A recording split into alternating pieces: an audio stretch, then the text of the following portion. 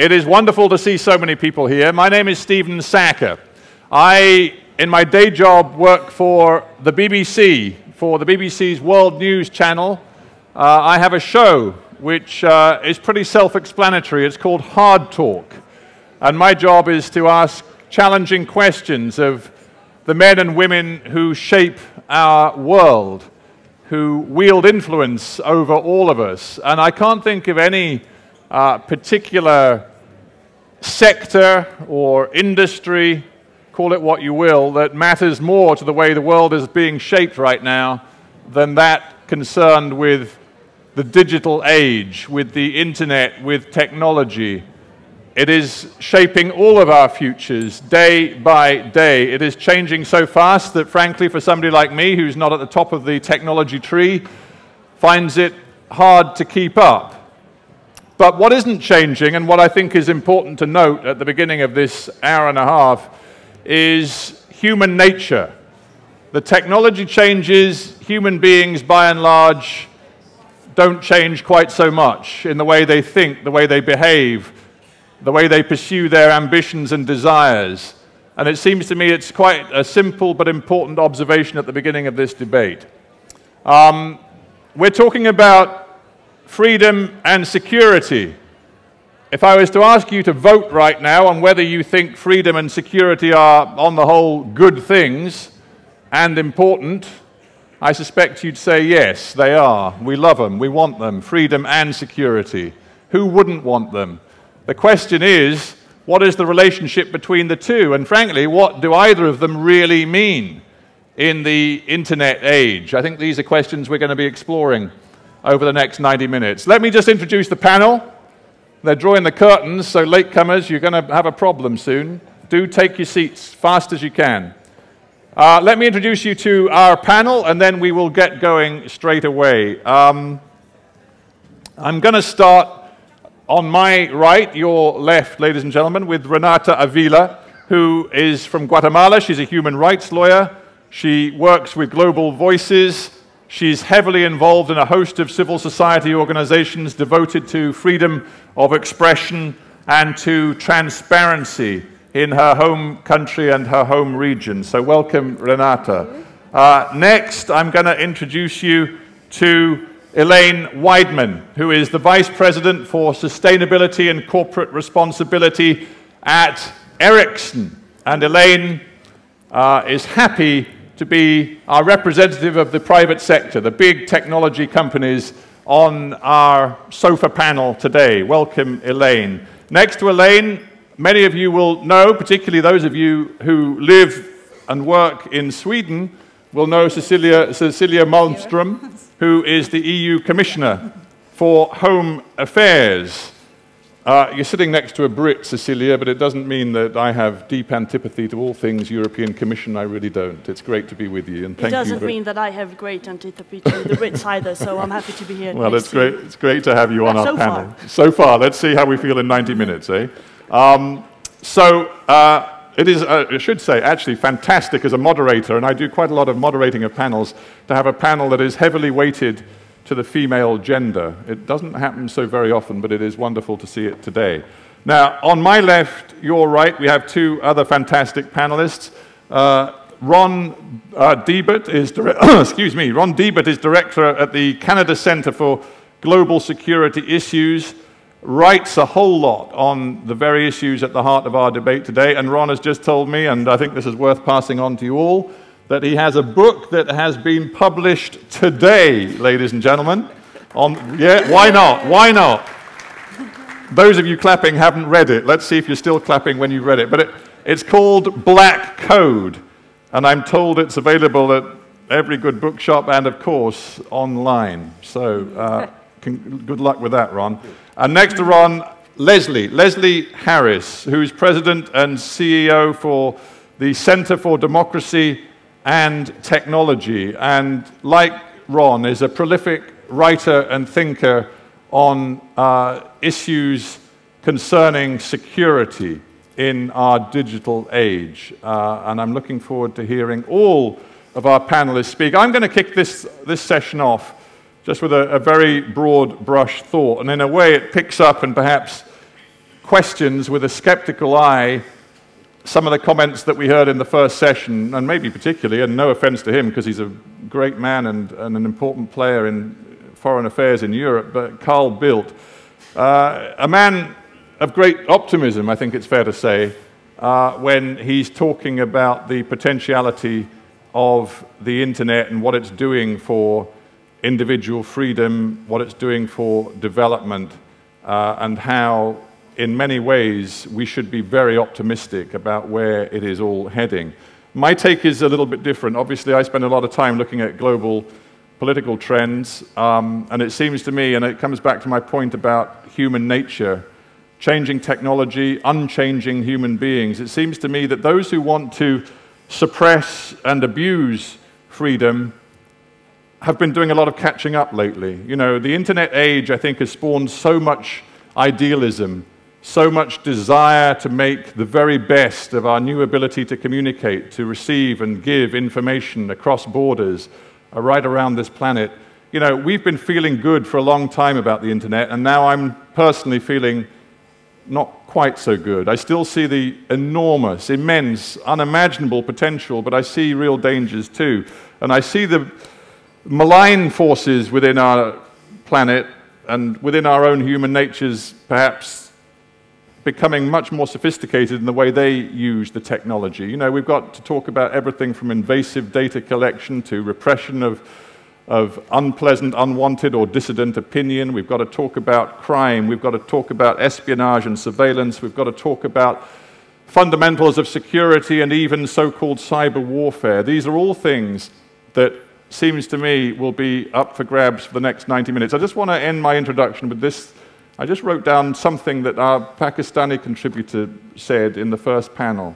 He said this He said, In Pakistan, every citizen is seen by the state as a potential enemy. I slightly paraphrase, but that's pretty much what he said. And it struck me as one of the most interesting and frightening things that I heard at the beginning of today's event. And I think it's something we should bear in mind as I get the panel to make their opening remarks. So I'm going to do it this way, simply in the order I introduced you. So, Renata, okay. just give me your opening thoughts to what I've just said and what you heard in the first panel and how you want to take this debate forward.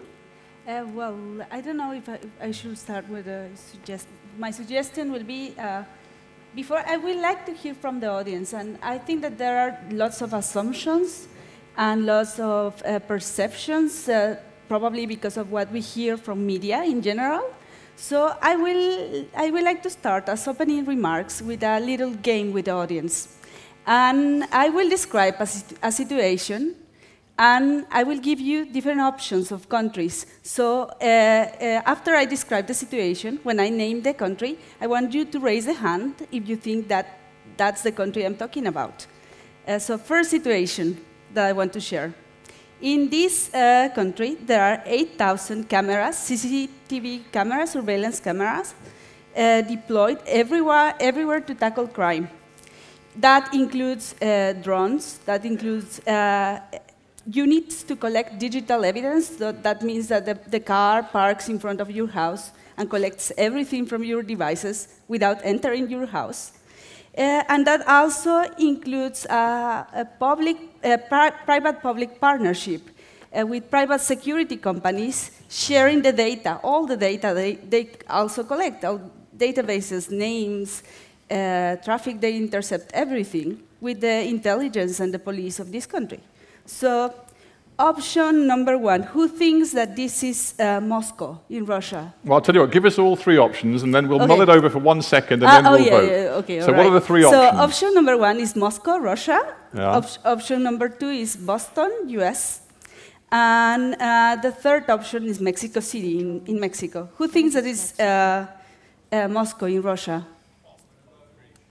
Did you hear that, everybody? Your options are Moscow, Boston, Massachusetts, or Mexico City. And so we're starting with those who want to vote for. Moscow. Which one are we starting with? Uh, Moscow. Moscow. Who wants to vote for Moscow? Well, you're a brave man, sir, because you're. The, oh no, there's a few. All right. Well, I would say Moscow is a is a is a not not a majority. Moscow is a very poor minority right now. So, So, okay, we've had the vote for Moscow. Which one do you want us to vote for next? uh, Boston. Who wants to vote for Boston, Massachusetts? Oh my God. How many of you live in Boston, Massachusetts? Uh, all right, well, Boston's got a fantastic amount of support. Uh, who wants to vote for Mexico City? Well, actually, you are correct, guys. It is about uh, this uh, program called uh, Ciudad Segura, Safe City in Mexico. Uh, the mayor of the city of Mexico, he was, he was awarded like lots of awards, best mayor in the world. And uh, it, it, privacy of citizens and oversight was not discussed at all while implementing uh, this kind of program. And all the narrative of media and all the narrative of uh, analysts of security and of course companies, because there's huge profit on this, uh, uh, was on, oh, how successful it is. And actually, there's no data to back such claims. So it is, it is very interesting. This is not a new program. It was how long? How many years has that program I think been? that it has been running like at, at least for three, four years. Three or four years. Yeah, drones and all this. And does the municipality point to major benefits that have been achieved because of this sort of surveillance and information gathering system? There's no hard evidence that such sophisticated system of surveillance actually contributed uh, specifically to reduce the rate of crimes because uh, you can, uh, you can, of course, you make some uh, somehow easier the, the work for police, but not not necessarily uh, uh, weight Yeah. the, the the burden on citizens and their private private communications, as as one member of the audience uh, described. Well, I think it, it, it- it's, it's a fascinating and thought-provoking opening example, and we can tease out some of what that means and, and what the philosophy is behind it. Do you quickly then, Renata, have a second one? Because I quite Yeah, like this game. one Let, is- us just is- play it is- one more time. It's far easier. Okay. Uh, there was a demonstration in the main square, and uh, all the mobile phones were shut down because of security concerns, because those demonstrators uh, were organized by text message and by uh, telephones. Uh, so they decided to just shut down the, the, the system. So options are London in the UK, uh, Panama City in Panama, or um, uh, Syria, Damascus, Syria. What do you think? Uh, right. Option number uh, one, London in the UK. Who's voting London, UK? I think I am because I feel like it and I'm British, so I'm allowed to. Okay, I'm voting London. Yeah, next one. Uh, Panama City in Panama. Uh, Ron looks like he's very confident, so I'm worried. Okay, Panama, Uh, and the third one, Damascus, Damascus. Syria. That, that, Well, you know, we've got a hard to tell. we've got a spread. We have actually got a genuine Well- spread of opinion. What's the answer? Well, in all of the cities that happened, uh, Ah. actually what I wanted to highlight is that in somewhere, somewhere like Panama, that's going on. And media is not caring about that. It, it was not even reported. I mean, I mean uh, when I felt the situation so close from home, I was really, really worried because uh, uh, when there's some uh, very uh, important and strategic country with this kind of problems, everyone is like, oh my God, internet is down here or there, or the mobile network is down in this particular country. When these threats are uh, against invisible communities, in this case was indigenous communities, uh, the problem is invisible to the press as well. Yes, uh, our countries are not superpowers, but uh, it is like the, the effect of the Christmas tree uh, lights. If we lose one, we lose. It is a chain effect. We lose everything. If we uh, start ignoring a violation of rights in one country, in one city, by uh, a mayor that does not respect uh, principles, we will start like, uh, oh, if my neighbor is doing that, I will do it as well.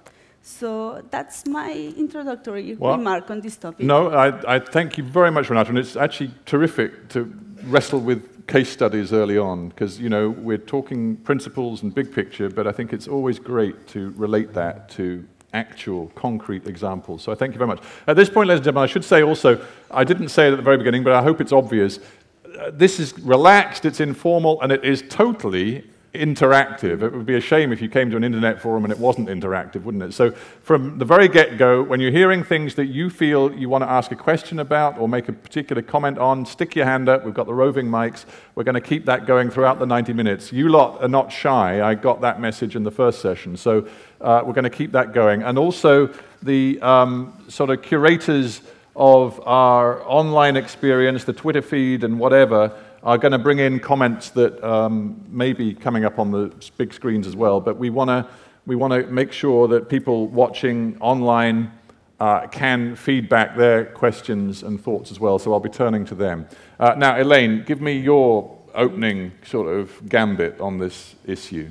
Um, well, for disclosure, I just want to say I voted for Boston because I'm actually from Boston, but uh, so I picked my hometown. But um, I've been um, these days living in Sweden and, and here representing Ericsson, a, a quite well-known Swedish company. But for those of you not familiar with Ericsson, um, Ericsson was founded in 1876, so quite a well over 100 years. And, and throughout this 100-year plus history, um, one thing has remained constant, and we have seen um, the communication trends come and go and change over time. But one thing that I would say is a, one of the fundamental values of, of our company and our, and our heritage and our culture as a company is that access to communication is a basic human need.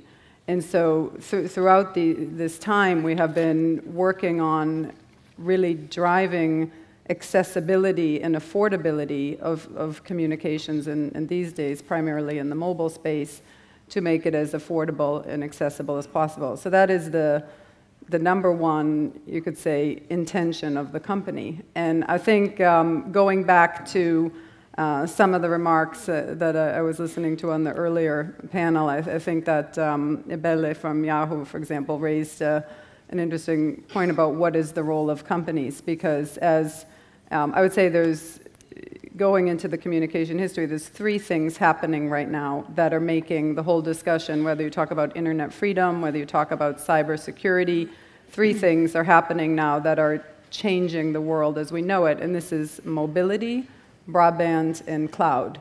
And these three technology forces, you could say, are, are evolving at a quite rapid pace, and that pace is, in fact, far outpacing the pace of policy.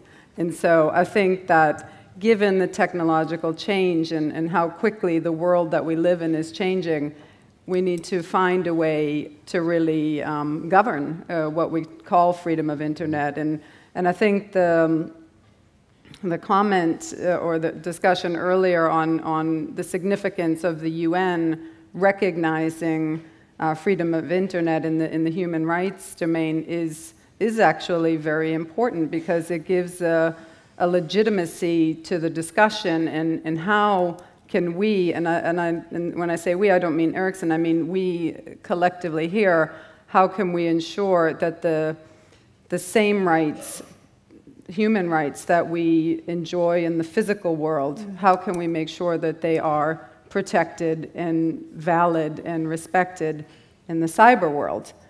Uh, so I think this is just um, really a, a, dilemma that, that or, or, brings up new challenges as technology evolves that, that needs collective discussion and I ask you this not as a representative of Ericsson, but just as it happens, uh, a representative of, of, corporate culture on our panel.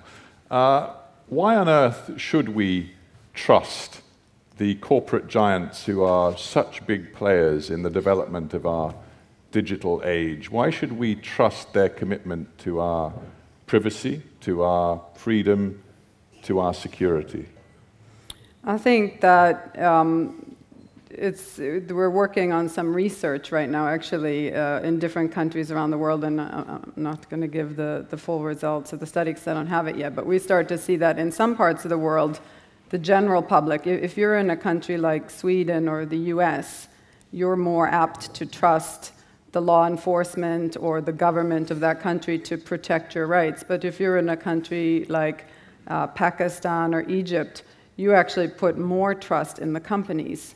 And this is a kind of broad generalization, but, but and I think the is role... that wise, do you think?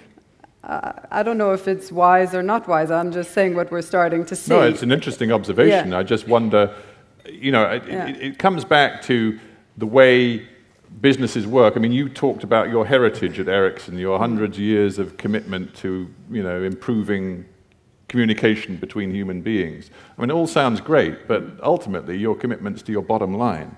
Um, and it's, I'm just wondering, in, in a cultural sense, whether you are confident, whether you're talking about the developed world, developing world, whatever, that, that in the boardroom, in the big technology corporations, there is a real understanding of the importance of these fundamental rights, starting Well, with privacy. You asked so many questions in one, but to go back to the first one, which I think is about trust, um, you ask about trust. I think that because the technology is evolving at, at such a fast pace, I think there has to be some kind of trust in the companies. Uh, I don't know, I guess it goes on what is your core business and what is the nature of your business. If you're in the business of, I don't know, um, very devious surveillance technology, I, I, I don't know if I would trust that type of a company, but that's not our business, and we focus quite a lot. And in fact, our board does discuss this, and our executive leadership team does discuss this about the ethical challenges, because if we don't have the trust of our shareholders, of our customers, of our stakeholders, it's going to impact the bottom line anyway. So I think these days, trust is something you know that is, is so important to, to many companies. I mean, that's just uh, our experience. Sure. but, yeah. Well, no, thanks, Elaine, for that. Uh, Cecilia, I'm going to bring you in. You're the EU Commissioner for Home Affairs. Uh, you presumably spend a lot of your waking hours thinking about cybersecurity, and I just wonder, you know, as I framed the debate early on and, and my nagging concerns that, you know, the malign forces within human nature are becoming more and more sophisticated. I mean, is that something that, that you uh, resonates with you in your day job? Well, well, it does, and as the debate has so, shown so far today, it, it's very complex. Because on the one hand, I share the optimism that the former panel expressed that, that of course internet is such a fantastic and powerful instrument in the fight for democracy and human rights. It's also a very good instrument for, for the economy, and it has made our lives, our private lives, uh, a new revolution. We live our, our digital lives today in a way we wouldn't think about uh, 10, 10 years ago. And of course, that has to, has to be protected. And we need to make sure that that, that can be, be, be done in the different ways that has been discussed to, to make sure that, that states don't interfere on interline with the freedom of expression and, and, and survey that their citizens who, who do not agree uh, with, with the regime.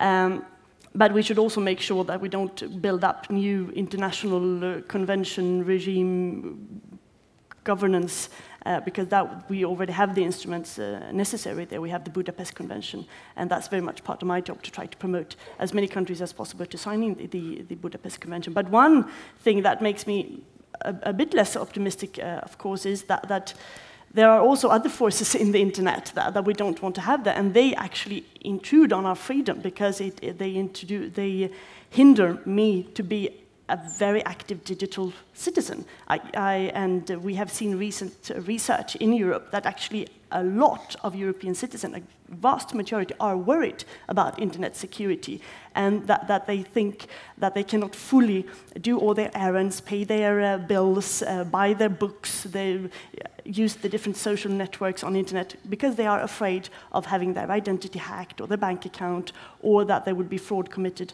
on internet. And that we need to look at as well. Is that fear rising? The evidence does it Absolutely, suggest it's rising, and it and we also see that, that criminals, of course, also take advantage of, of internet, and there are a lot of uh, organized crime groups and individuals who, who are there who um, uh, who work with identity theft to do uh, steal bank accounts, who um, are very much involved in sexual child abuse online. We see that people, individuals, become radicalized on that. We had the recent, we had many examples, but we can take someone close here, the, the Anders Breivik case in Norway. He spent a lot of his life being radicalized on, on internet, and that poses new challenges to the law enforcement agencies, because of course police work needs to be done on internet as well. But on the other hand, how do you make sure that, that you don't um, that you don't push that too far? Yeah, Uh, because to be clear, I mean, he, this isn't.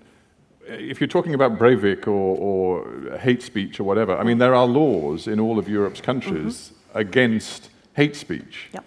So the laws already exist. It's just a question of the platform, mm. the delivery system exactly. by which those words are reaching an mm-hmm. audience. Mm. So I, am not quite clear what you're saying here. You want a whole raft of, of new, more far reaching laws, or you just mm. want to find ways of practically implementing what is already out there? No, I was just outlining what we also see on, on internet. It's not only a tool for, for democracy or freedom, it's also a tool for organized crime uh, who are there and who, who, commit a lot of these crimes, which of course causes a lot of victims, but also are a cost for, for, for the society, uh, critical infrastructure that, that is attacked and so on. So the police I don't think we need a whole lot of new laws, but we need to discuss how the laws that works in the, in the real world, how can they work on internet uh, as well? and for that, it is so important to have these kind of forum where we discuss with industry, with the civil society, uh, with, with researchers, the academic world, and so on, how, how do we, we set the, the, the rules there and, and, mm. and the platforms? And that, that is, is not obvious. Uh, but, but of course, police needs also to be doing their work on internet. What is illegal and what we can agree upon, I mean, organized crime as is illegal here, is also, of course, illegal on internet. Because if we don't um, address this issue, and it's being addressed, of course, every day, then it will also be a very threat, a threat in itself to, to digital freedom. right. So it's not a trade-off between freedom and security, but both elements needs to be there and looked at because they are linked. Yeah, well, it, it's interesting because uh, Carl Bildt, your compatriot, said that freedom and security are essentially the same thing, two sides of the same coin, I think he said. I mean, uh, it's probably easier to say that in Sweden than in some other countries, or, or to think that, mm -hmm. or to mm-hmm. see it as, as being, frankly, as simple as that. But anyway, I, I want to bring um, this side of the sofa in. Right. So uh, why don't you go, Leslie, okay. and have a thought on this, and then Ron. Well, so I think my initial thought is that we're, we're lacking a vocabulary to be talking about the same thing. Um, you know, I agree entirely that a secure internet is an underpinning of a free internet and an internet that supports human rights. Um, I think the danger is that cybersecurity has become the new national security. We spent the first decade of this century using national security as sort of the phrase that allows anything to happen. Now, because I think security is not one single problem. Like, I would not have put hate speech into the security bucket. Uh, for me, and I expect for technologists, that we're talking about intrusions into systems, and in, in any event, I think it just demonstrates but that. You, forgive me for interrupting, but you, if you were um, a Jew living in a particular well, a quarter of, of, Budapest, well, then I teach as a, in Budapest. As, okay, so if you're if you're Jewish, you're in Budapest, yes. and you are seeing the internet right. being used to propagate anti-Semitic right. bile. I didn't say um, it wasn't a crime. But it, it is a security issue for you as no, a Jewish resident no, of no, Budapest, not, is it not? It's not a security issue. I mean, I think this is our problem: is that um, there are a lot of laws that protect us in various ways from, you know, from things we don't like. Europe has hate speech laws, the US doesn't. That's two-hour discussion, hmm. a different two-hour discussion. Um, but when we talk about cybersecurity, we have this tendency to take every evil that happens, every act that is a crime, and call all of that cybersecurity. And I think when we do that, and when we're not always talking about the same thing, then we start to propose sweeping and overreaching solutions and risk human rights. So we need a common vernacular. Um, and the, the rhetoric in particular that's associated with cybersecurity, don't know how it is over here, but in the United States, the problem is touted by some as the coming cyber Armageddon. Now, I actually think that security is a big problem. It's a growing problem. We're seeing more threats uh, across the board, I'll go in kinds of threats. But you can be sure that the solutions are going to lack nuance, um, they're going to lack proportionality, and that rights are going to get kicked to the curb anytime you are doing policy in a framework of cyber Armageddons. In the United States, we also use cyber Pearl Harbors and cyber 9 11s. Um, it seems to me that if, that if we want to focus on the legitimate issues of security, um, we have to define what we mean and see if we can come up with. And I think this is why when security proposals were getting kicked around the ITU, I, I think was highly revealing that you know there were countries that believed that speech against the government and speech that might foment disagreement in the country were cybersecurity threats, and yet, which obviously we wouldn't support, and yet we were talking about a single treaty that would govern us mm. all. Um, you know, I think these are the underpinnings of the real issues that were happening at, at, at the ITU. But if we don't get these problems defined uh, in, a, in a collective manner, and, and from my perspective, we can never get the world to agree. I would like to get internet freedom advocates to sort of engage in a collective process where we decide what belongs in that bucket and we decide what it could be a crime, it could be a crime, you may want to go prosecute it, but when you talk about cybersecurity solutions, um, belong in the cybersecurity you, you, budget. You, I'm assuming you've worked it out in your own mind for yourself. You're happy oh, that I, you I, can I, define it? No, no. I, can't define. No. I mean, I, limit it in some ways to intrusions.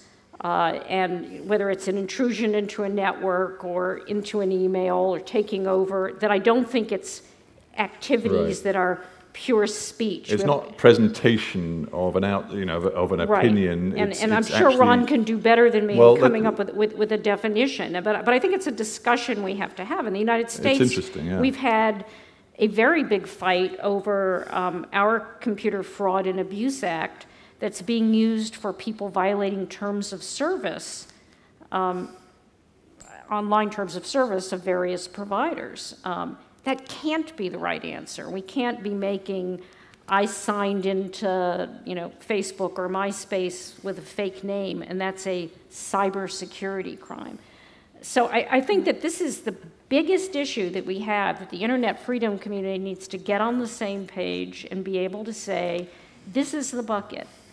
Um, because if you don't, I mean, in the United States, we have, we have debated if you want to play which country or which city um, kill switches for the internet, giving the president power for kill switches for the internet. What, to close it down? Yeah, a kill switch. Who knows what it means? The, the, the belief that there's a little button. There are countries where you can if push it's President button. Bush or President Obama, might make a difference. It might Uh, mean different things to it, different presidents. It might mean different things to different presidents. So, so I, I just think fundamentally, the first thing that we've got to do in this community, the community of people who want a free internet, is decide what's in that bucket.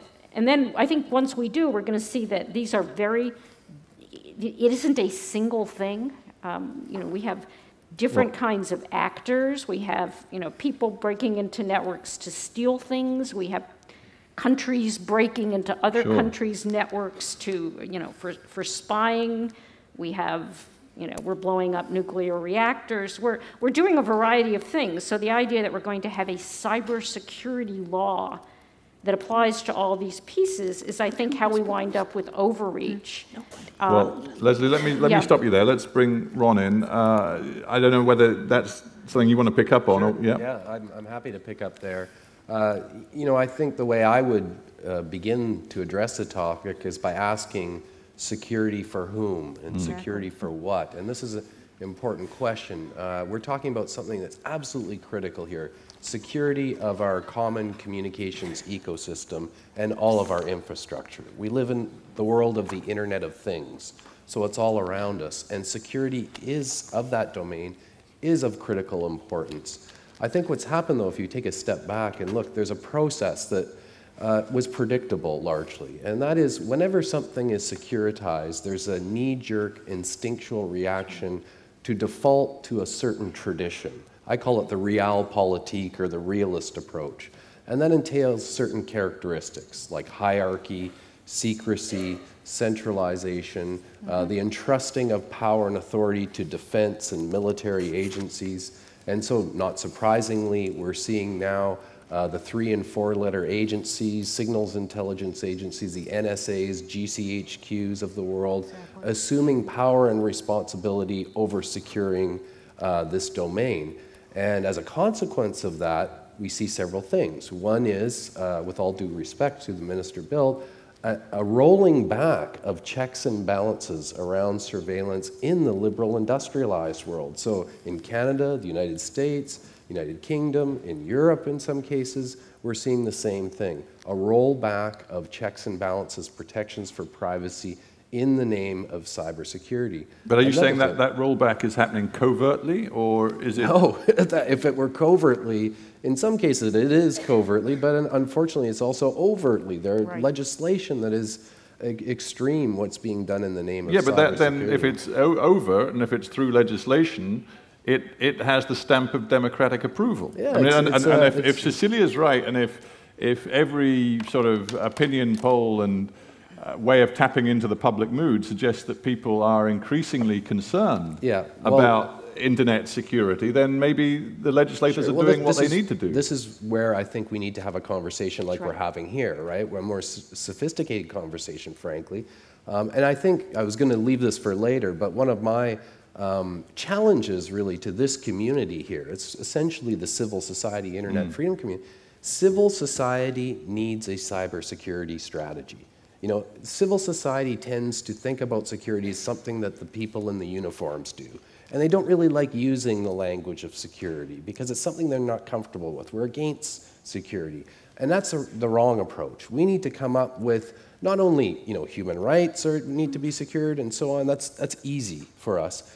The difficult challenge is actually to talk to the people who deal with the threats to the critical infrastructure, the very real security issues around cyberspace and say, okay, what are the solutions to this? Can we come up with a program of action to introduce legislation that protects human rights, privacy, while also securing this space for us? I just wanted to get back to one point, that one of the consequences of what's happening now, it's important because it picks up on something from the last panel, and this is, I think, uh, even more perverse, is that when you, this logic unfolds and you have this deference to the three letter agencies and the militarization of cyberspace occurring, uh, not surprisingly, a whole market uh, emerges to service the needs of the defense and intelligence community. This is my single biggest concern right now. Uh, in the last panel, it was, there was a mention of a report of ours at the Citizen Lab on this British company, Gamma Group, whose products have shown up in more than 30 countries around the world. It's essentially commercialized spyware. But that's the tip of an iceberg, and it's actually an easy case in and of itself.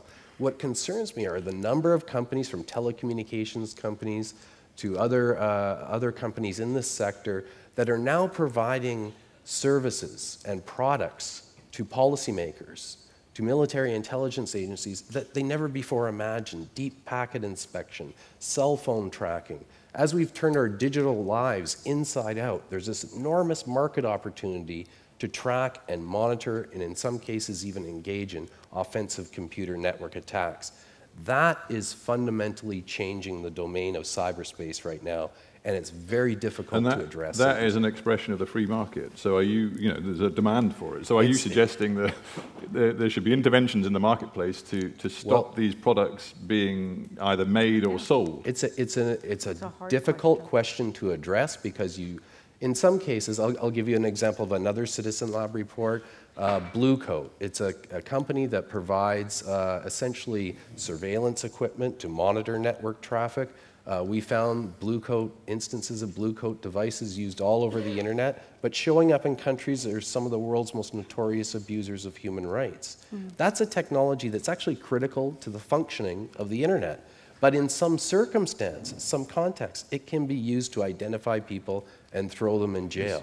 What you do about it, I'm not sure. Well, it's a fascinating point, and I want to pick up on it because I've got some thoughts in my own head about it, but, but I, hands are beginning to go up, and I want to make sure that we reflect people's questions and observations from the floor. So, madam, we'll get a microphone to you. Just tell us your name and uh, give us your question or your thought. Uh, and people other people wave hands because this debate already is, I think, getting very interesting, and I want your input. And also, moderators, I'm going to come to you in a sec. Ma'am, go on. Uh, my name is Jahan. I'm from uh, Pakistan. I represent Pasha, the IT Association, as well as work with a civil society organization called Bolo Bhi.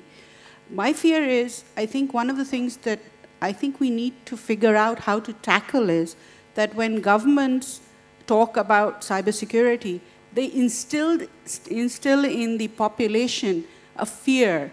And then you find that no matter how much you may speak up on behalf of civil society, civil society itself, the mass civil society, is so scared that they figure it is justified to put in surveillance. It is justified to shut down mm-hmm. mobile mm -hmm. services. Mm. It is justified to do whatever it takes to keep us safe. And that is even more scary than the control that the governments have. So when the population supports this, how do we tackle that? Well, we need to figure out how to a, tackle that. Great. Can, can, I just, I want to bring Renata in because I was very struck. Uh, you mentioned Panama. Yeah. Uh, you know, in, in, a country like Panama, when, when the sort of draconian measures are taken to close down the internet or whatever, to thwart a demonstration or whatever it was in that particular situation, is it possible to gauge the, the general public's reaction and, and, and to assess whether you know, the government's proper message about you know, the, the, the threat being posed gets home to the point where people end up supporting these draconian measures? Well, I think I think that it is not just in countries like Panama. I and I think that uh, there's. I, I, want to add an element here that I was like dying to mention. Go on then. Go on. And it is that uh, with the, with the new technologies and with the unprecedented access to technologies that we have in countries in corrupt countries, and actually uh, with corrupt companies mm. as well. Uh, um, we are witnessing an unprecedented level of accountability by citizens, crowdsourced, uh, uh, an unprecedented use of our right to truth and our right to uh, have access to the information relevant for our situation. And also we are uh, witnessing different expressions of dissent on the internet. Right of assembly, uh, sometime before it was not possible to have simultaneous right of assembly of citizens from Pakistan and from Guatemala and from Mexico and from Canada protesting against surveillance laws or uh, these kind of issues. And this is very important because I am very worried. New directives on cyber security uh, are framing these kind of activities under terrorism. And that's such a dangerous level mm. that I, I, really want to mention here. Uh, they are creating new, uh, such uh, uh, directives are, are creating new vocabulary such as, and I'm sorry if I'm, but I think no, no, it's mentioned, I have to mention this. Go on. Uh, this term, cyber terrorist, used to freedom of information activists yeah. online. Uh, uh, also, uh, this use of the new hacktivist term to uh, uh, so uh, constitutions or regulations will not protect the, the right of any citizen to publish information as journalism. But this new hacktivism term that uh, uh, used to uh, circumvent the protections that everyone has under Article 19. And also, I, I want to mention this because this is another justification to make people scared or uh, well, about that, even searches yeah, that, online. That was the lady's yeah. point from Pakistan. Uh, uh, sir, you had your hand up for a, a, while at the back. You've got your hand way up in the air. You're even standing up. Yeah. Good for you. Uh, all, the only problem is that you're about a million miles from the microphone. So. Uh, oh, sorry, sir. You go, you go first, and then we'll go straight to the gentleman behind you. Yeah, go on. With the microphone, you go. Okay. Thank you. I'm Reza. I'm, I'm from Bangladesh. I used to work with Article 19 Bangladesh office. Um, I would like to mention a few things. Like, first of all, the, the vocabulary things was not talked much, but I guess and I understand what is tried to, underst- uh, try to indicate that there's not much enough vocabulary is there to tackle the current situation. And I guess I want to like to problematize the word freedom itself and also try to problematize the word security itself. Because uh, as, I mean, if you look, look, look back to the local language, and in, in our case, we have a very different meaning of freedom. Probably sometimes it's close to the English word emancipation, and sometimes we don't use the word what constitute the freedom into the European or the American context. So I think to look into the solution-based approach, probably some vocabulary lackings is there. We look into that. We have to look into that mm-hmm. issue. And on the other hand, the security, as our friend said, that the civil societies are not much interested to talk about the security, especially probably you mentioned on the who are involved in the ICT sector. But on the other hand, of course, the, the civilian control over the military or the intelligence, that there is a source of human rights-based principle into the Johannesburg Declaration and other places. So probably we can, we can use some extent those principles and the best practices to intervening uh, the cybersecurity and getting a control over the home ministry probably, or the home ministry of the national governments. Mm. And lastly, I would like to say like, uh, yeah, I mean, I want to see the wisdom the, from the panel. Like, uh, yes, we can talk about the freedom, security, communication surveillance, or uh, cyber threat and other things. But I would like to go back to the point what you started, the moderator you started, mm. the human nature, the how human nature act or react when there is a surveillance, when there is a, is a uh, perceived threat, when there is a uh, term and stigmatize people as a cyber terrorist or the terrorist. So I want to see our wisdom to discuss on that track how human nature behaved and how human nature react and act. Okay, thank okay. you very much. Yeah. All right. Well, thank you. Thank you very much for that. Uh, we'll just go straight to the gentleman behind you. Go on, sir. Hello. Hello. Good morning. Uh, my name is Jan Kleijssen. I'm with the Council of Europe in Strasbourg. Uh, what I would like to draw attention to is the fact that freedom and security are not mutually incompatible. Um, one of the founding fathers of my organization, a gentleman called Winston Churchill, that the moderator and others may well know, uh, pointed out that you cannot have security without human rights. And our Budapest Convention, I'm very happy to hear that the EU is very actively promoting the Budapest Convention on cybercrime, actually contains a specific human rights clause in other words, uh, the convention foresees that the best way to fight cybercrime is to respect human rights and the rule of law at the same time. And we just had a major conference against terrorism in Strasbourg last week, where it was demonstrated that those countries that fight terrorism, also on the internet, while protecting human rights and the rule of law, are a lot more effective than those that don't. Thank you.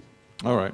Um, panel, is there anything you particularly want to pick up on from the comments we've just heard? I would like to actually just, since the Cybercrime Convention was brought up, it illustrates precisely a point I was making. In Canada, uh, the government, public safety minister, uh, put forward a bill, C30. It was very controversial. It was our uh, lawful access bill. The bill was put forward precisely to be in compliance with the Cybercrime Convention.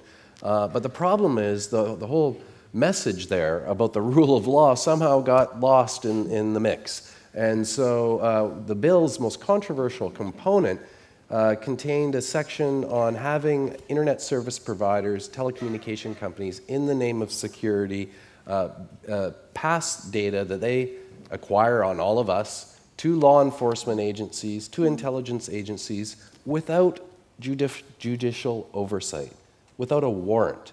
If we are doing that in liberal democratic societies, we're losing sight of what it is we're securing in the first place. And not only that, we're lending legitimacy to those very practices abroad that we ostensibly oppose in places like China and Iran. Fortunately, the bill was defeated because there was public outrage. Bumbling by the public safety minister contributed to it as well. But one of the haunting things that emerged in the debate around it was that the police routinely go to internet service providers, get access on all of us Canadians without a warrant. That's standard practice. It's what's happening today in Canada.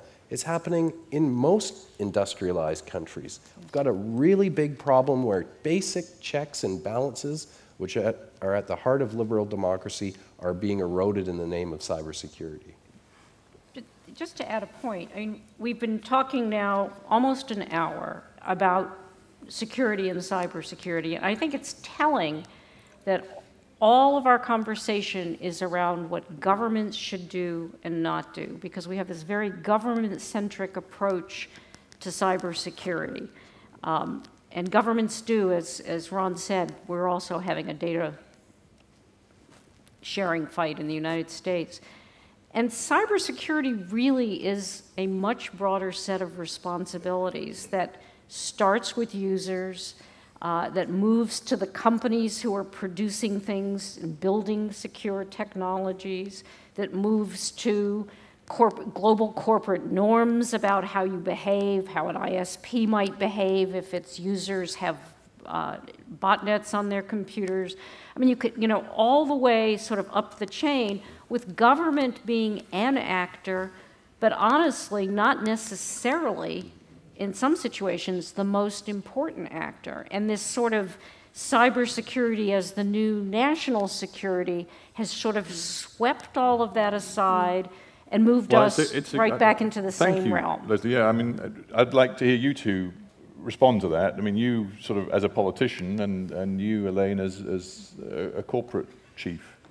You well, start, I, I think we, we talk about such a broad subject, so, so it gets a little bit uh, well, it, it's very wide. Because it sure is. It sure is, and, and that's what's making it so difficult and, and challenging, because of course, uh, government surveillance of citizens, that is, is something we, we must stand up to, we, we stand up against. We should not uh, allow that, and it is important but, but, that, we, that but that, that's not something we do allow. It. We've established in this conversation it happens all the time. I mean, you, Britain, I think, is the most densely surveilled country in the world. It happens every hour of every day uh, in pretty much every country. It does. And so, so it's no good saying we want to stop that and No, that was going it. to I be mean, my, my, my, second sentence. And when it does happen, we must make sure that it has, that it is protected in law, that there is possibility of redress and information. But that doesn't mean that, that we promote massive surveillance of, of citizens' opinions and, and, and, and freedoms. But what I am talking about is not about setting up new laws in the European Union. Nobody has ever proposed, what I've heard, a global cybersecurity law in the European Union. Uh, Thank not God. seriously. Thank, uh, thank God, of course, because that we don't want. Yeah. What it is is about making sure to fight the real crime that is on the internet. The real crime, the, the thief, the rape, the, the, the, fraud, the stealing that is going on internet yeah. as well. And where we need to discuss between law enforcement authorities, how do we do this? Because some are very advanced, some use means that you and I would probably not be agreeing upon. In some police stations in Europe, and also, of course, in other places in the world, there's not even a computer. How do we connect them when organized crime groups work all across the, the, the, nations. How do we deal with this? Policing is about getting information. Yeah. That we can agree about. But under what rules will you get that information? Be, uh, without ma making sure that you have this massive uh, surveillance system that, that will all can, can fall into as a politician, uh, who, you know, who's charged with protecting Europeans as mm. commissioner, do you, do you, listen to sort of thinkers, think tankers, and uh, activists like Ron and Leslie and think, you know, they have it too easy. They can pontificate and they can say, oh goodness, you know, this. It's becoming a catch-all phrase now, cybersecurity being used by politicians and governments to erode fundamental freedoms. Uh, do you think it's, do you listen to them and get angry? Bit hacked off? no, I very seldom get angry. At least if I get my coffee regularly, I'm, I'm quite um, relaxed about that. Of course we do. I, I, mean, I spend now cybersecurity is not my only responsibility, but we spend hours and hours now trying to connect with industry, with the different uh, civil society organization, uh, with academics to try to find the answers because we don't have the answer. And everybody who, who, who claim that they have all the answers how to, how to do that is, is not uh, honest. Uh, but we need to recognize that, that there is a problem of criminality online. And if we don't address that, uh, this, the freedom of internet is also threatened. And I think we agree with that. Yeah, yeah. Yeah, I, I, yeah, and I wanted to bring Elaine in because I know she wanted to say something earlier. Go on, Elaine. Yeah, a couple of things. One, I think, um, to pick up on what, what Leslie mentioned about responsibility, I think this truly is a shared responsibility. You can't say it's the government or it's the company or, or it's the general public or civil society more broadly. I think it's, this is truly an area that is intensifying and, and will grow in importance. And so that's one thing I think is the concept of shared responsibility. And I think this event, we were here last year, I think it's such a great way to get the mm. dialogue going, but there needs to be much more of the sharing of the responsibility. And then the other word that uh, triggers me is responsibility because it hasn't come up yet uh, today, but one thing we're working actively with is the new UN guiding principles for business and human rights. Right. And what is the company's role in respecting human rights? And when we look at this as a company, I personally have been involved now for over a year in, in some of the commission um, multi stakeholder dialogues on, on the role of companies in this. And one thing that I have been very frustrated about is that, and I hear it here too, like everyone says, the ICT sector, or it's so grossly overgeneralized, and we talk about surveillance. I mean, and these are very broad terms, and I think where you can have an impact, and now I'm speaking from the company side, is you have to know where are you in that ecosystem, where are you in that value chain to see what is your responsibility. And censorship is very different than shutting off a network, is very different than misuse of lawful intercept. Is, so there's so many different, you know, potential areas where misuse or, or abuse of human rights can occur that you need to know where you are in that value chain in the ecosystem and what the potential risks are and that's we have published this paper today it's on the conference website ICT and human rights and it's not a book, but, uh, but it's a paper. And I think right. trying to get awareness among the public about uh, these issues is very important. Thank you, Elaine. Uh, i want to hear from our moderators. Moderators, give us some -huh. questions or comments that have come up uh, on the Twitter feed or wherever.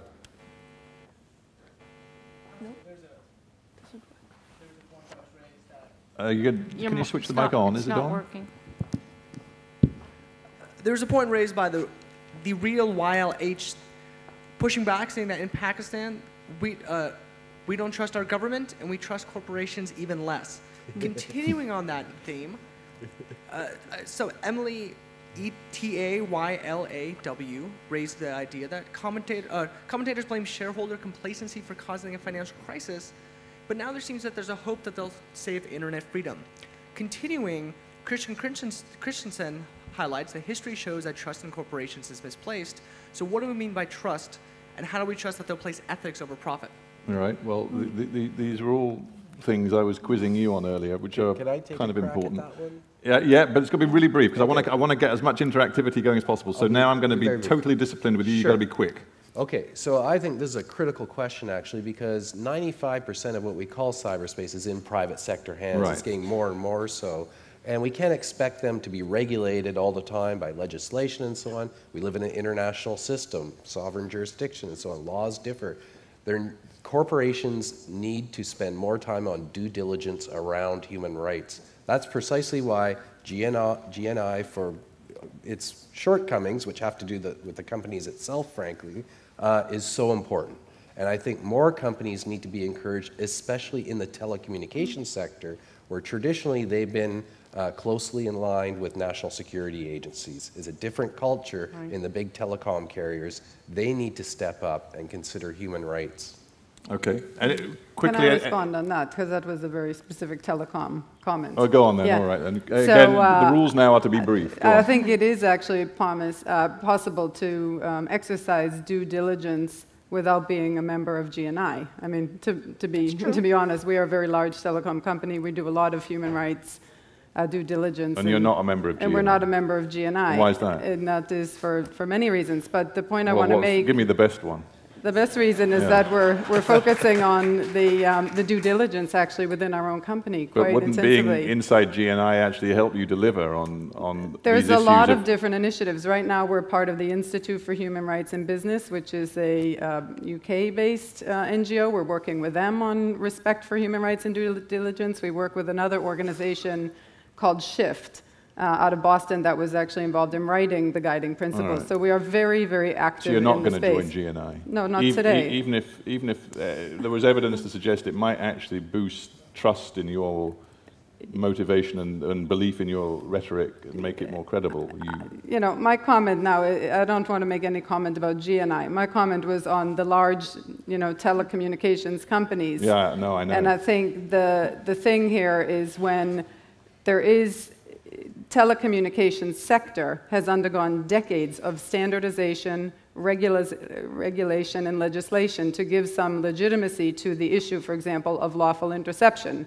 That's why we provide it to governments. We're provided by law. It's been, you know, developed and emerged over two decades. And I think what's different now is the internet because the internet and the cyber world as we live in it today is not regulated. So it is a difference in the value chain right. where you are and where things are. And, and that's the you. point that I want to point All right. Out. Quickly, Renata. Super quickly. Cyber, uh, new cybersecurity regulations. Inside those, there's a big push with a trade secret law that will, uh, like higher protection, that will forbid citizens to look at the, uh, what, what uh, is really inside these kind of devices. Right. I cannot have, right now, any expectation of a private communication using a common telephone anywhere in the world. If I, uh, uh, if I want to speak with someone, I have to do this to my telephone. I have to take out the SIM card. That's unacceptable. I mean, companies are not caring at all about uh, privacy of the citizens. And Governments, on the other hand, are increasingly uh, classifying information about their deals with companies committed, committed uh, to human rights. So we do not know really what's going on between companies and governments, and we, can, uh, we will be even uh, forbidden to uh, explore, dig deeper in the activities and in the technologies used by companies and by governments to surveil the citizens. Right. Well, so, I'm just wondering, as Renata speaks, whether people in, in the room are, are, are sharing her quite profound fears about where this is going and, and how little Renata feels she can trust uh, big uh, corporations working in this field. But um, I know there were hands up over here, and I want to get to the back if there are hands up at the back as well. Uh, There's well, one in the middle back. Uh, who's actually got the microphone at the moment? You have. Well, you've uh, got a head start then, so we'll start with you. Uh, thank you very much. Kirsty Hughes from Index on Censorship and also a willing member of GNI, unlike um, Ericsson's. Um, I wanted to ask a, a, question to the whole panel and especially to Commissioner Malmström, um, which is would you agree that there is never a case for mass population surveillance and data gathering? And in that case, especially to Commissioner Malmström, uh, would you agree that the EU and the European Commission should in future stand up and speak out very clearly if a member state does what the United Kingdom does and tries to push through mass population surveillance as it did with the Commons Data Bill, now withdrawn due to parliamentary opposition in the UK? Thank you. Okay, so did you hear that, Commissioner? Well, well yeah, I think so. Well, did, I hope everybody did. Uh, just the question is basically, would you uh, go on the record here and now, just between friends, all 300 of us, uh, and no, say I'm that not going to comment on a proposal of a law that I haven't seen. No, that I cannot. But, but, but the, no. the principle. No. But Never the principle a case that, for of, this sort of mass surveillance. Well, it, it depends. I get, no, I, I, cannot do it. In principle, no, mass surveillance sh should not be allowed. But there could be cases where it is, and it would not be for the Commission to. to uh, uh, to, to condemn that. But we are very actively working all over the world, including internally in the EU to try to, to, uh, to work against that type of phenomena. And if it were to happen, that it was, as the former panel discussed, that it has to be very clearly regulated in law when the cases can, can be, that there has to be redressed, that there has to be a judicial authority um, give, giving its authority. So just spontaneous mass surveillance, no. But that specific law, I, I, I can't comment. All right. But I mean, if there's an issue with surveillance in Belarus or Iran or Thank North you. Korea, it's very easy mm. for us here in Western Europe to say, oh, that's outrageous, it could never happen yes, here. I mean, we the do, truth is, we should com- yeah, but, does, yes. but the truth is it does happen here. Well, it's not really the same I mean, it's not, maybe it's not the same thing and the intent isn't the same, uh, you know, if one can get inside the heads of, of the uh, people running the surveillance, but the fact is that, you know, Western nations do run surveillance operations, mass surveillance operations. They, they do. Yes, we Department do. of Justice yeah. and Associated Press. Mm, yes. Yeah. Exactly. Right. right. And that FISA is to be condemned. warrantless yeah. wiretapping. Can I, can I make one point before Quickly, you yeah. I, I think that Western democracies want to feel secure because we op operate mostly in a rule of law world, that it's okay for us to do these things in specific circumstances and that we can cabin that off and say it has no other impact. And we heard a little bit of that on the last panel. And I think that it is probably the most dangerous thing that we can say. Um, you know, and we have this fights in the United States all the time. The SOPA battle last year, mm-hmm. uh, and particularly its um, its requirement to literally have ISP spoil domains. You want to mm-hmm. talk about a security threat? Would have would have just been adopted everywhere in the world. You know, rule of law or not. So I think we have sure. to take our responsibility very, very seriously not to become basically the source uh, of, of, the problem. Yeah. I got you. Right, I'm going to do three at once now. Uh, the lady uh, there with the microphone, then I'm going to go over there, and then I want that microphone to go to the lady at the very back, because we've got to reach some people at the back. So you, then you, and then you. So starting with you, ma'am. Go okay. on. Good morning. So this is Salihi from uh, Reuters News Agency. I came from Iraq. Actually, it's a little bit frustrated. And sorry to say that to listen to you uh, since this morning and see you that discussing this problem from your perspective, which mostly came from the high level or very advanced levels uh, uh, in countries that used uh, internet and uh, uh, got this kind of a freedom ages ago, maybe decades ago, while you forget that there is another kind of users for internet in the Middle East specifically, uh, in my country, for example, people are dying daily because of suicide bombers or uh, car bomb attacks because of terrorism. And usually those people, the militants, using uh, internet to publish uh, their crimes and to encourage other people to uh, join them, mm. recruiting their uh, other peoples, funding them, exchange the information to reach their targets.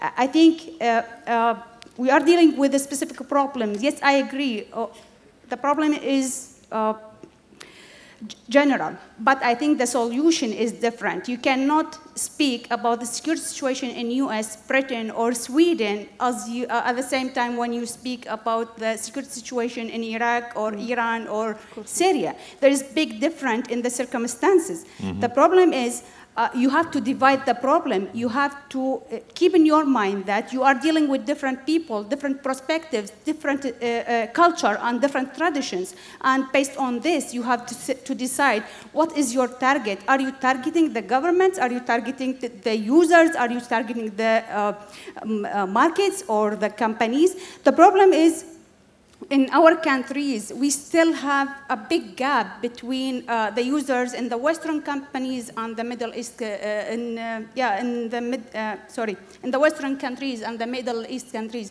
People are still not educated very well about the benefits of the internet and how they can use it.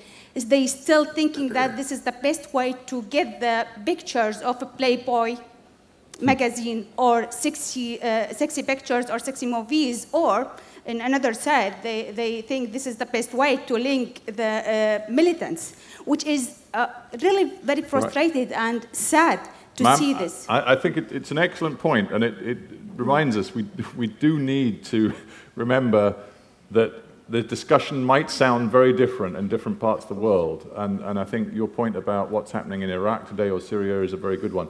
But uh, I, forgive me, I'm going to move on because I want to get as many voices involved as possible. So you've got the mic, so you go ahead.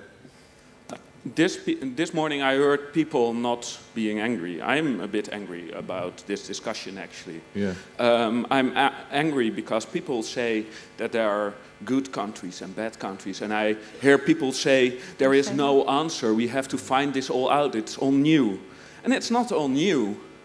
These questions were raised in the 19th century when our current liberal democracies were invented and, and created. It's not something new. There might be some new technology, but it's not that different from the telegraph. Um, it's not something very magical. Um, I think one of the base, basic fundamental things of what happened in the 19th century is that all the laws had some basic distrust of government in them. And that is, and that is what we need. We need to be aware that also in Europe, and I, am uh, an EU uh, inhabitant and citizen, uh, we need to have some of this basic distrust. We come of a history of uh, a lot of, well, mass murder in, in Europe that was based on on having uh, surveillance, of having databases full of people. And uh, we don't want to have this, this fuzzy trust in government because it's all going so well, because we never know what the future will be. Okay. So just so I'm, I'm use your... Yeah. I, I, do you mind if I, I, I, just want to get as many people in as possible. Um, I think, again, you made a, a, point very clearly, so I thank you for that. And I want to go right to the back now, to the lady with the mic at the back. Yeah. This is Juliana from Ushahidi from Kenya. Uh, my question is specifically to Ron Deibert and the panel also to talk a little bit more about the Internet of Things and the security implications, uh, particularly when we have prototypes of um, future technologies being made all over the world and that production data being sent uh, to China or other countries, but then those particular governments may not allow encryption of that information, just to give one example. But also if there are any um, recommendations for companies or organizations that are looking at a hardware play and are also still very connected to the ethos of the open internet. Okay. Um, well, there was one. Uh, let me just recap because as we go through, I don't want to throw people's comments away.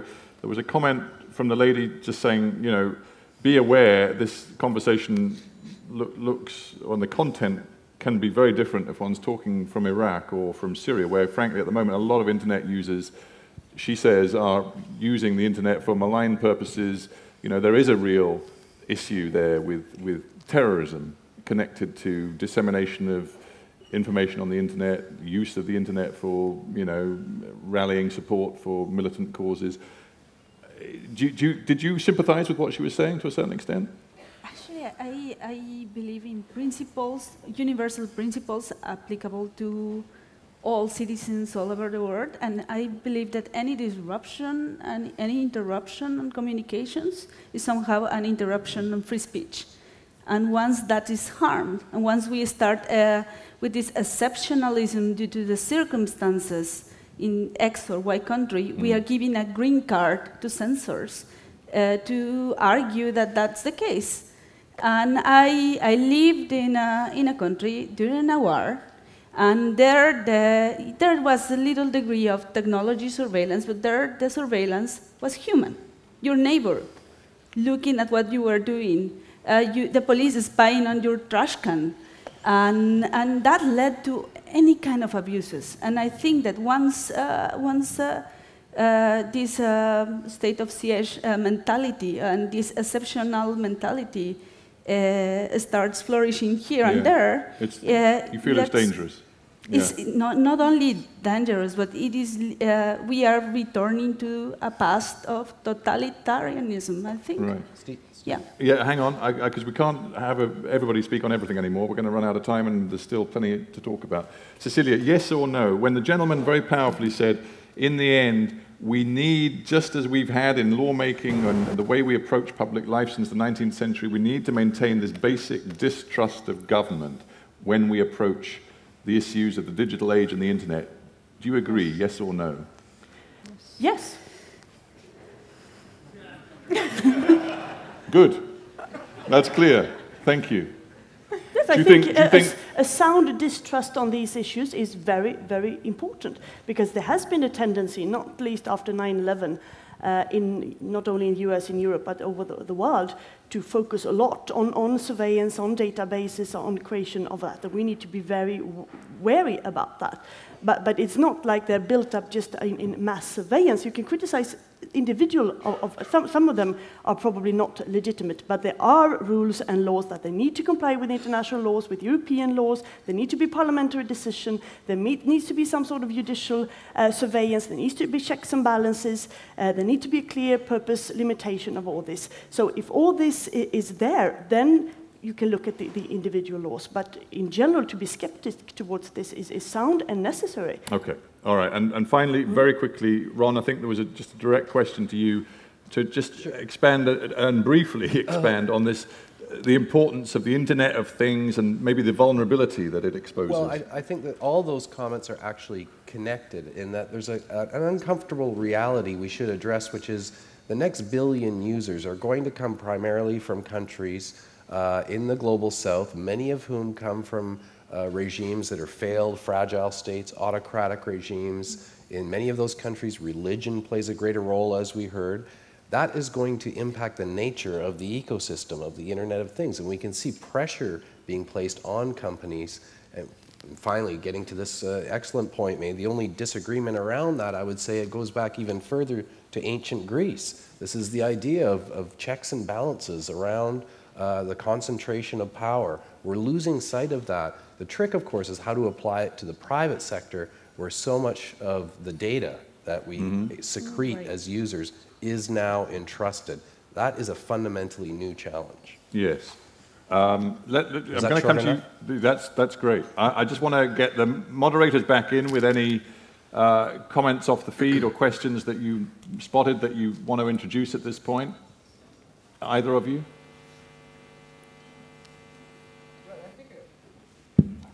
Can, I think it'd be good to, to elaborate on describing, and this comes from Bolo Bhi. Who has the authority to decide which country is civilized or categorically good and bad? Right. Well, we, we, we've chewed that over a lot, whether it's even remotely useful to talk about the good and the bad in the international community. And I think we're all sort of beginning to feel it's not terribly helpful. But uh, anything else? You just quickly, one more if you've got one.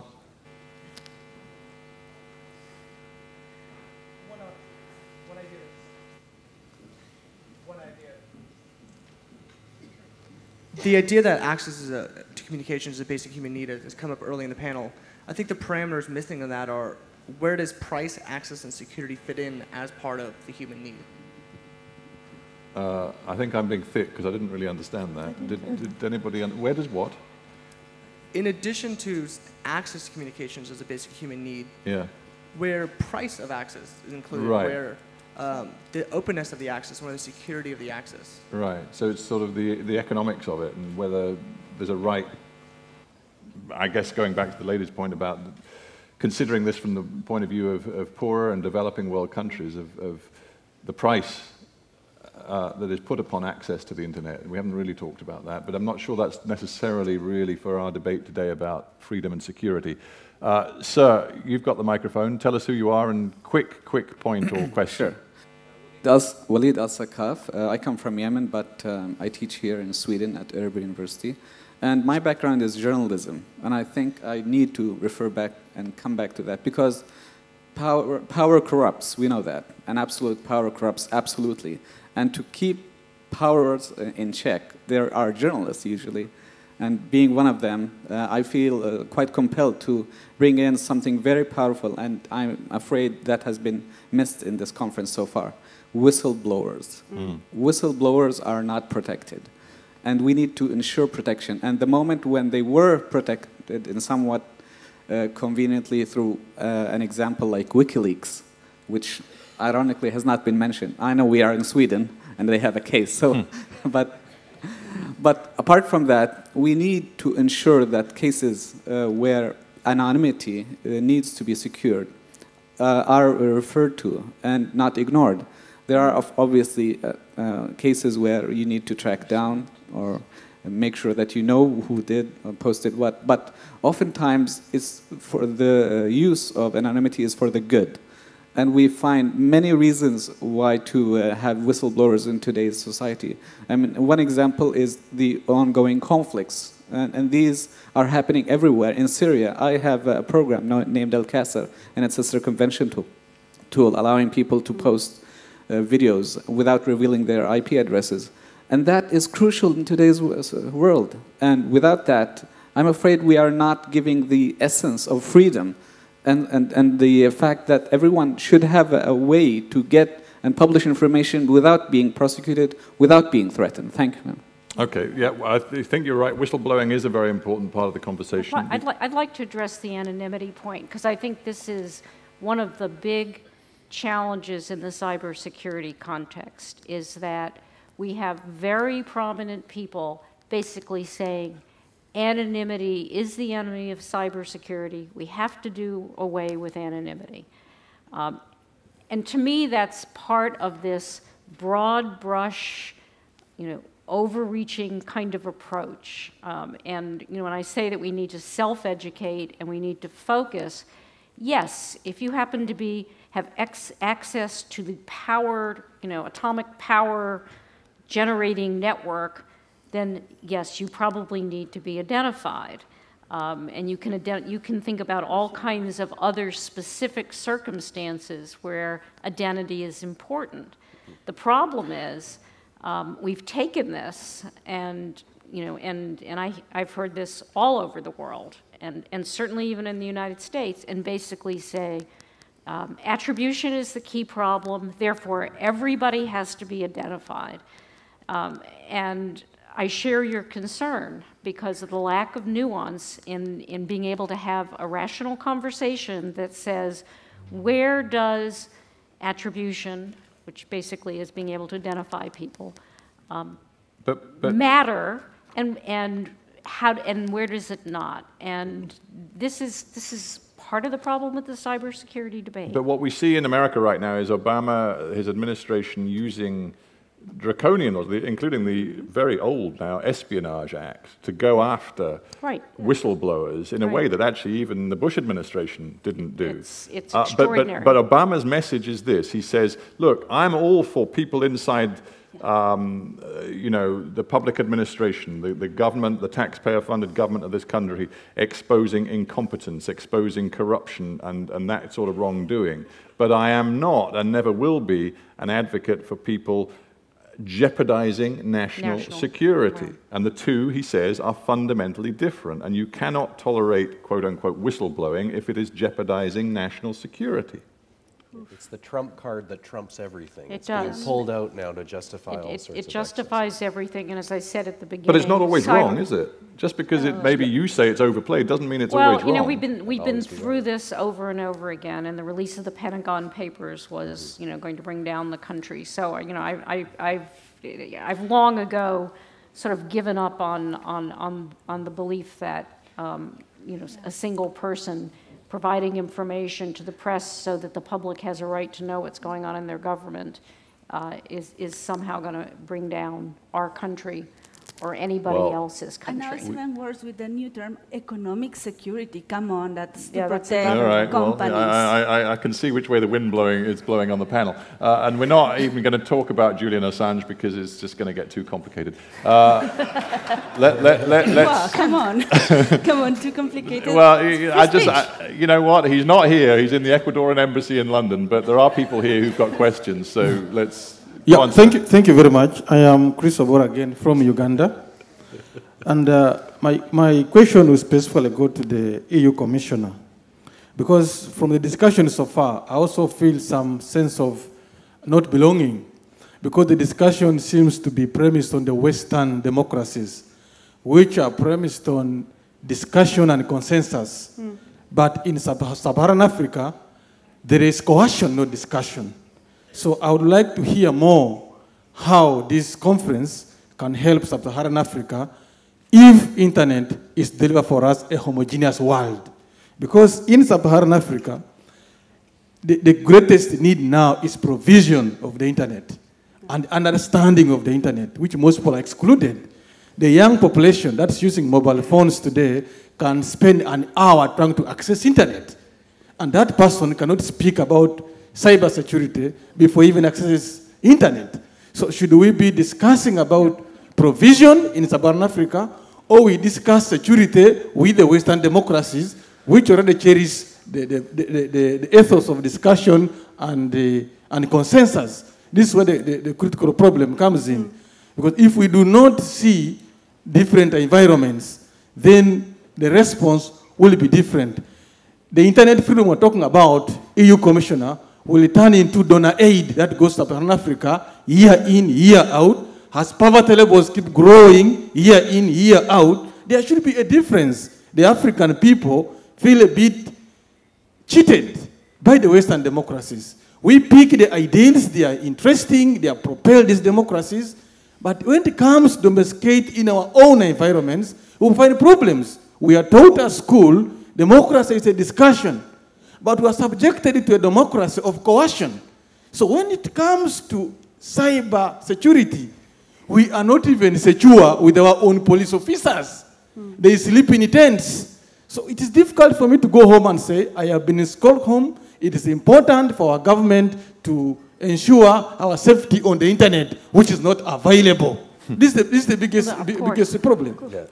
Yeah, well, uh, critical question. What, if anything, can you offer in terms of a, No, an EU effort to address that basic problem? But you're, of course, absolutely right. Th- This perspective that I was trying to illustrate was what about what we're doing in the European Union. But also, we have actually a strategy uh, that, that has been elaborated together with my colleague who is responsible for external affairs, and we discussed this a lot. And it is part of the EU strategy to try to support in our neighboring countries, including in Africa, not only the accessibility, the, the infrastructure of internet, to support that through different kind of aids uh, and aid, aid and loans and so on, but also to have the defense of an open and free internet very much as a part of our, our uh, foreign policy.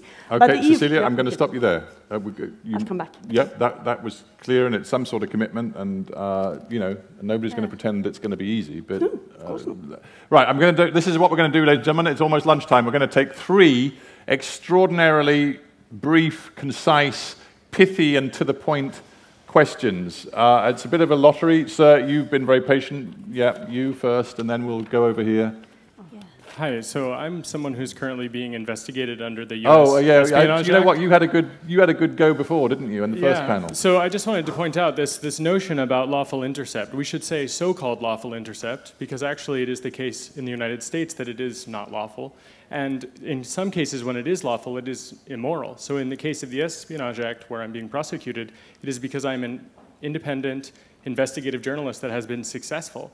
And this Yeah. is state terrorism of, my life. And so this is sort of a, you know, a question to the commissioner here, which is that um, when I hear you talk about how we need to prosecute criminals and yet we need to secure cyberspace, I wonder if you're willing to concede that there is a disproportionate, um, let's say, a disproportionate amount of power here to surveil, so much so that we lose the ability to actually be secure because we compromise our technologies in service of policy. And I wonder if you recognize that we can secure our communications on the internet right now if we are willing to give up our wiretapping on addiction.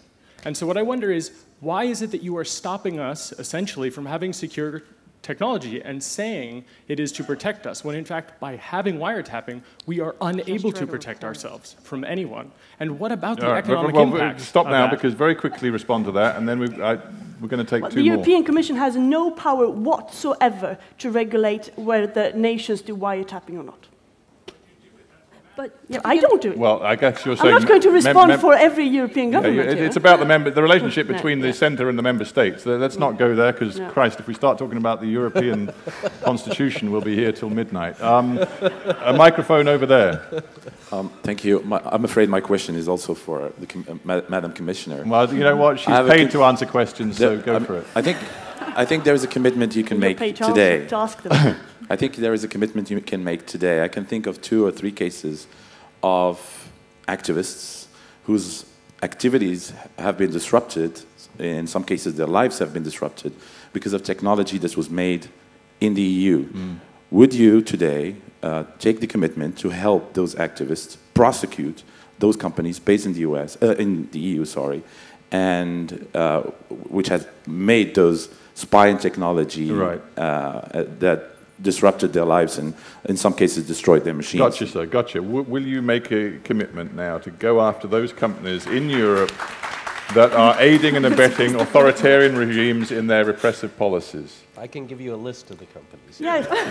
G- give me a list. I mean, you all want me to commit to things that, that, that I need much more information to do. But, but we do actually do a few of these cases. So, yes, give me more information and we'll have a look at it. And, and on the point uh, that was uh, coming from Ron earlier, he said, you know, um, there are a host of European companies that are flogging, uh, you know, software and the capability for repression to repressive regimes, you know, on the internet. Uh, isn't, I mean, Europe's very good at, at, at banning arms sales to regimes we don't like in Syria and Zimbabwe and wherever. Why aren't we doing that with this sort of technology? Because Europe is not very good at agreeing uh, between the 27 member countries to have a tough scrutiny of themselves when it comes to these issues. And uh, when they don't agree, it is very difficult for the European Commission to act. You give me, you allocate a lot of power to me. I'm grateful for that. But, but many things you ask me, it is not in my powers to do. Uh, but Europe has a problem in general to be and, and, that is a credibility problem. If we want to be very strong on freedom of internet or other human rights abroad, and we are to a certain extent, we can be tougher, then of course we must scrutinize ourselves because otherwise it becomes credibility. And there we have a lot of too. It's not right. just European companies. No, sure, but as we have there's got plenty, European Commissioner, plenty, and that's why there's I'm plenty of Canadian and U.S. U.S. Issue. companies, but Canadian, there's more. US, but there's more yeah. dia- more dialogue. I wonder about what it right BlackBerry now. is doing. And Yeah, like, uh, uh, yeah, Renata, I'm not going to let you. I'm afraid right now because uh, I promised one more question, and then we're, our stomachs are going to start rumbling, and we're going to need some food. Well, Uh, that as the microphone's there, sir, you're the lucky guy with the last question. From Huawei. Yes, Andy Purdy Hi, uh, with Huawei Technologies. Speaking Um, of. I would Speaking suggest of. that we should not trust any government to monitor all internet traffic, whether it's Sweden, whether it's China, whether it's the United States. We should not trust any company in this country, whether it's Huawei, whether it's Ericsson, who are providing critically important equipment to our telecom networks. We need to agree on standards and best practices and requirements for transparency so we can make sure that we hold folks accountable to protect our privacy and freedom. No disagreement there. Well, that may be, well, in fact, it has to be the point we end on. I mean, a message there saying, you know, this is not about trust. It's not about taking people at their word. It's about holding institutions, whether they be private sector corporations or whether they be state agencies and governments, holding them to account and demanding from them real transparency. And I think maybe that's not a bad way to end. We have to end somewhere. This is, I think several panelists End have on a said, positive a massive, massive topic. From Huawei. Well, it, It's great. it- well, it, Excellent, it, it, it, it, in a way, it's great. But you know what? I, I, and Renata, I know you're dying to say something else, but you know, lunch is a priority as well, and everybody's been so I vote for patient. lunch. Um, Lunch. Ladies and gentlemen, it, it, this conversation will go on. Obviously, it'll go on in, in the corridors and the corners here at the Stockholm Forum. It'll go on for the next year. Freedom and security, they're both intrinsic to the way we want to live our lives, but how we balance them out and how we make sense of them in the internet age, that's something that clearly is extraordinarily complex. But let me just thank a fabulous panel. They've been incredibly giving and insightful, so please give them a warm hand. And ladies and gentlemen, thank you too for the questions and for your attention for the last hour and a half. Go and enjoy your lunch. Thank you very much.